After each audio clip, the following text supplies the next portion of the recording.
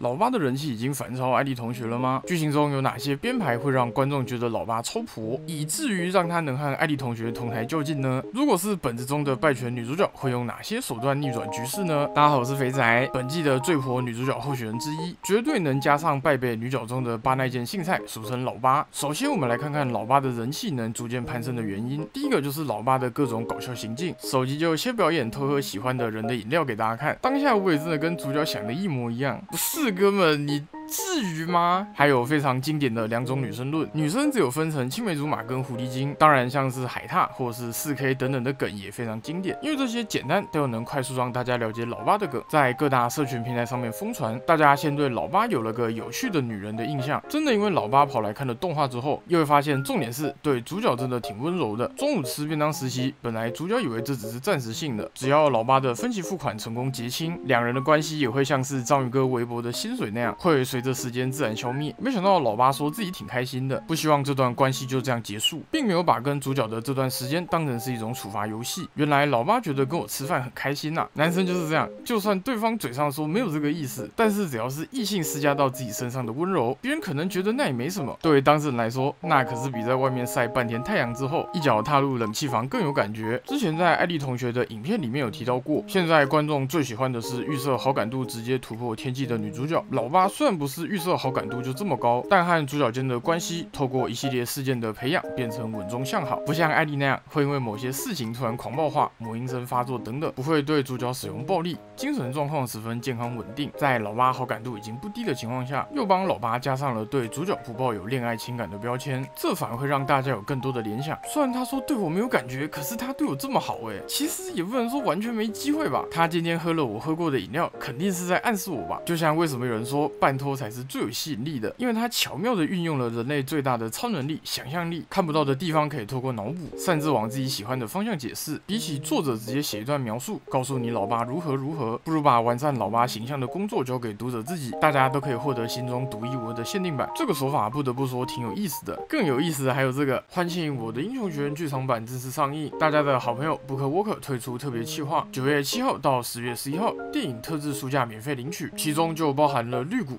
爆豪、轰焦洞等人气角色，同时加码再领原作限定的一百元优惠券。没看过漫画原作的读者千万不要错过，趁这个机会赶快购入漫画原作来完成你的收藏吧。这边还要再告诉大家一个好消息：九月二十一号到九月二十三号，BookWalker 全馆七九折起，消费满一千元可以再享八八折。现在就登录 BookWalker 清空你的购物车吧。除此之外，点击下方资讯栏链接，还能再拿一张粉丝专属百元优惠券。BookWalker 上的本子库存也非常多，而且都有繁体中文翻译，相当适合各位老。司机们好好品味一番。再说一次，九月二十一到九月二十三，全馆七九折起，消费满一千元再享八八折。马上点击资讯栏的相关链接一探究竟吧。老八以外的女主角们塑造的也不错，有着小麦色肌肤的柠檬，加上酒精锻炼的身材，和老八有着不同方向的吸引力。柠檬输的真的冤枉啊！老实说，曾经和喜欢的人算是彼此喜欢，但是没有在对的时间点阐明心意，最后只好爱人就错过，被平行世界的高木同学整晚端走，和主角同属文艺部的小。局虽然没有太多抢眼的特征，加上动画似乎砍了很多小局的剧情，我个人觉得他是动画中最可惜的一个角色。合作的时候跑去跟学长自爆，算是表现的巅峰。说勇敢是真的很勇敢，也不管是不是告白之后，大家的气氛会变得尴尬。反正老子今天就是要跟你爆了。最后的结果竟也意外的好，跟学长姐的关系不止没有降到冰点，三个人之间的联系还是非常紧密，有一种爸爸妈妈带小孩一家三口的味道在。自爆完之后，有一段时间变得有点像是搞笑角色，主要的作用。是专门拿来发出一些怪声，跟主角的互动还是有，不算完全神隐。和学长之间的感情描写相比，另外两个角色可能是因为篇幅过短，显得没那么强烈。后续在旋即一肩扛起文艺部活动的重担，又让小菊的股票大开红盘。这边可以加码再提一下主角的妹妹，从妹妹短暂登场的几个镜头可以得知，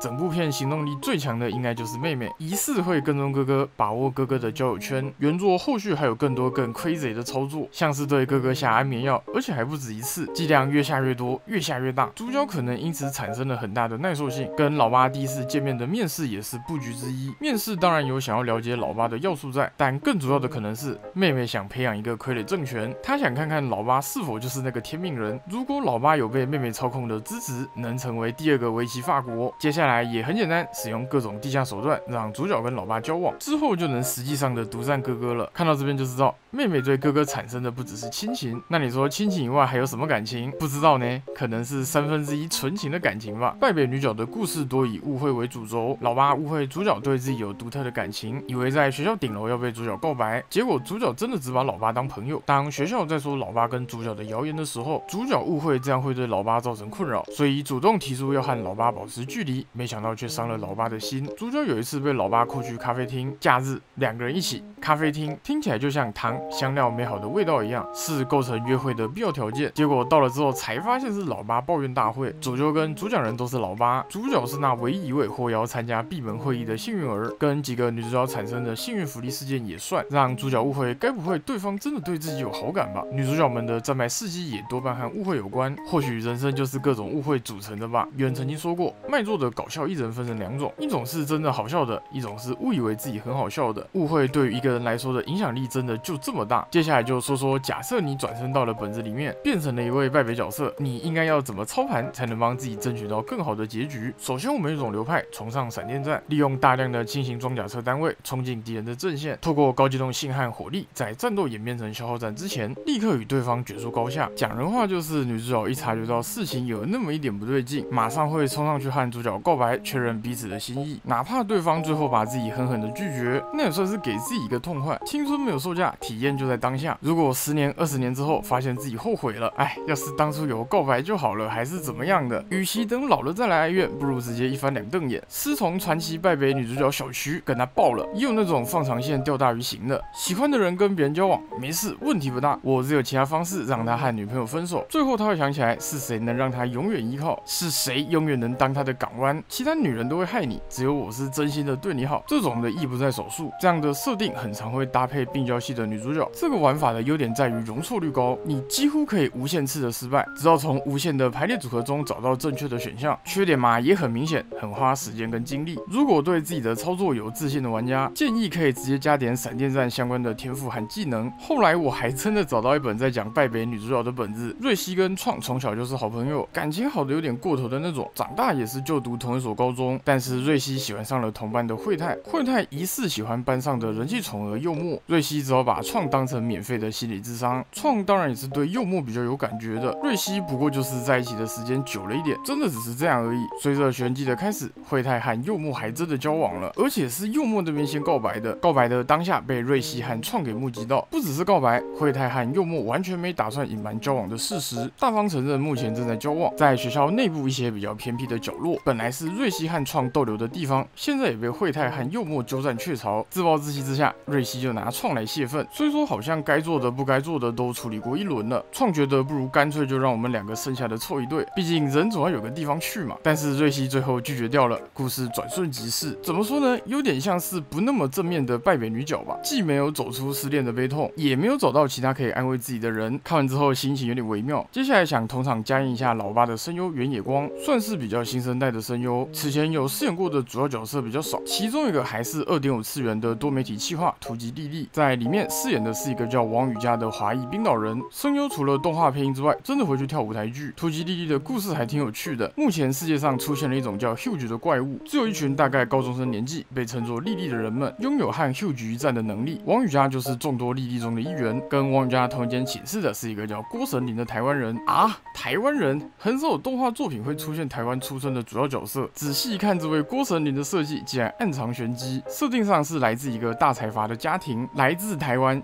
姓郭。大财阀，那不就只能是我们的 good timing 了吗？既然有台湾人，就让我有点好奇，在那个世界观下的台湾是个什么样子？一查发现，最初的 Huge 巢穴出现在台北啊，已经沦陷了吗？那没事了。突击莉莉算是百合度很高的作品，动画 ED 有一幕还是王宇佳和郭成林叠在一起，这个时候的歌词刚好是：每当感受到生命的时候，胸口都会剧痛，所以感受生命就变成了一种带暗示的黑话。喜欢原野光跟百合的话，可以去了解一下。那么以上就是今天的节目内容了，觉得内容不错的话，可以订阅、按赞加分享，或是透过超级感谢。功能小额赞助哦，谢谢收看，我是肥仔，下期见。